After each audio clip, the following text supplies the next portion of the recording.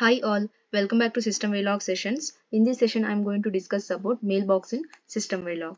So in this session, we are going to understand what is mailbox, where we use the mailbox in our System Verilog test bench and the methods, what are all the methods there in the mailbox and we will see the difference between mailbox and queue. Okay, and also we will see the examples in the next video. So a mailbox is a way of communication between different processes to exchange the data. A mailbox is a way of communication between different processes to exchange the data. So this mailbox is similar to the post box. Okay, post box. What what is post box? We will put the letters into the post box and we will get the letters, right? When we when we want to communicate between the uh, people who are staying in the different places, that time we use the post box, right? So we will put the letters and we will get the letters. But the difference between this post box and this mailbox is the way of accessing. Okay, mailbox behaves as a first in first out order. This mailbox behaves as a first in first out means whatever you put the data first you will get the data first. You will get that data first. Okay?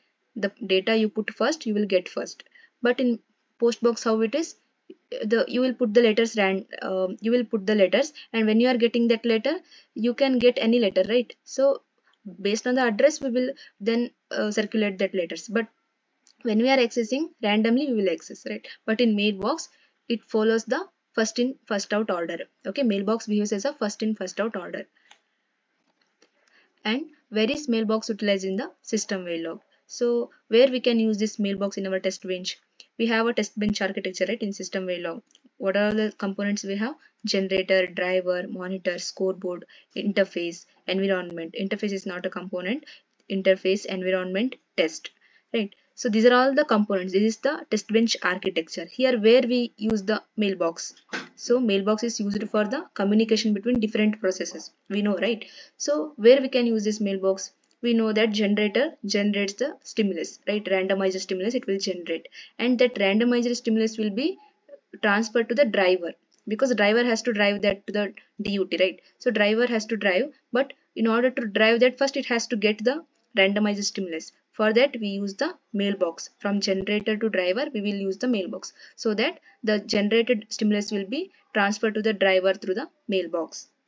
And again DUT will process the data. After driving the after uh, driving the stimulus it will take that stimulus and it will process the data. It will perform some operation. That processed data will be captured by the monitor. Monitor will capture the stimulus from the DUT, the processed data. Okay, so it has to transfer to the scoreboard, right? Because it has to compare the uh, DUT output and the referenced output. So it has to compare whether it is matching or not. For that, monitor has to transfer the processed data to the scoreboard. Again, for that we use the mailbox. Monitor will transfer the uh, captured data through the mailbox to the scoreboard.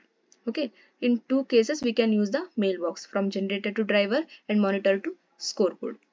So this is where we can use the mailbox.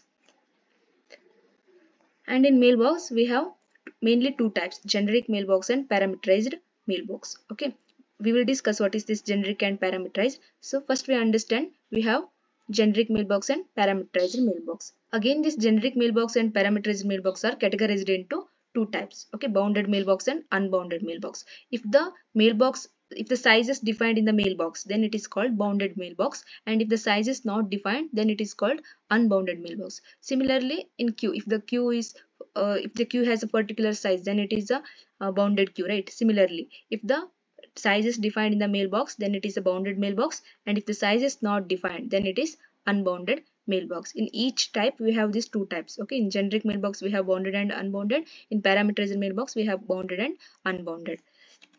Now we will see the types of mailbox. So what is generic mailbox?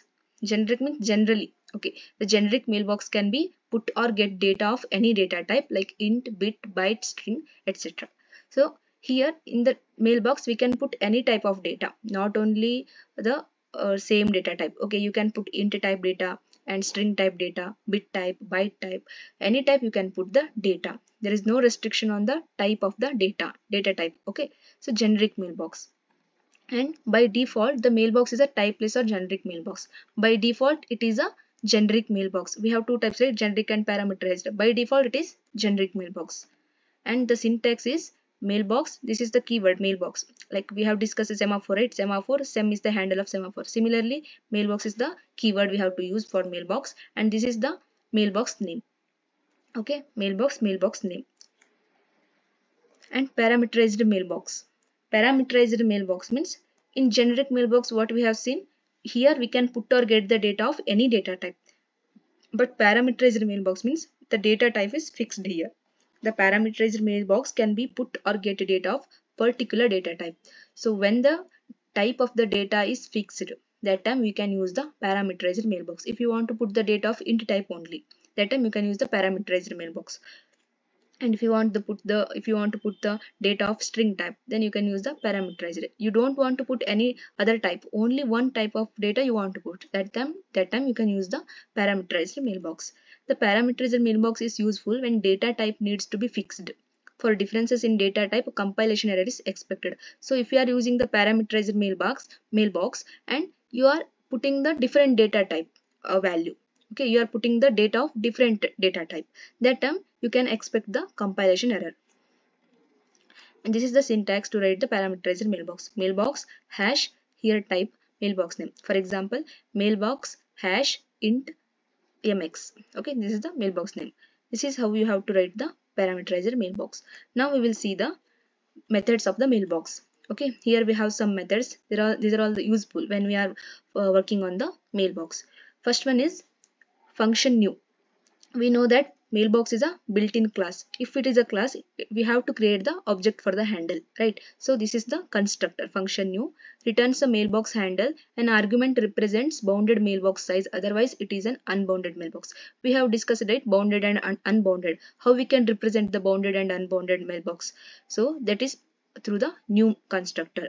Inside the new parenthesis in, inside the parenthesis if you mention the value that defines the size of the mailbox okay if you don't mention anything it is unbounded infinite okay? And it returns the mailbox handle.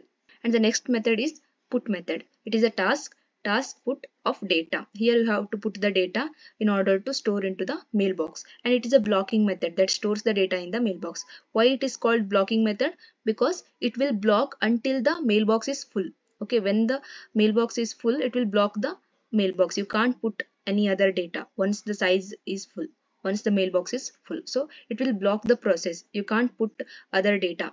Okay? And another one is try put method. So this is non-blocking. Okay? This is a function. Here it will when we are talking about function it will return either 1 or 0 okay? You have to remember like that. Function. So uh, here into try put. Try put means it's a non-blocking. Here it will not going to block the process even though if the size is full. So uh, instead of that it will return the status of the um, mailbox whether it is full or not. So if it is full it will return 0 if it is not full then it will return 1 the non-blocking method that stores data in the mailbox if it is not full and returns 1 and if it is full it will return 0 okay? That means you can't put the data. It will return 0 task get and data. This is a get method get method means whatever you stored before you will get the data. In order to get that you have to get, use the get method. This is blocking similar to the put method okay? It is blocking.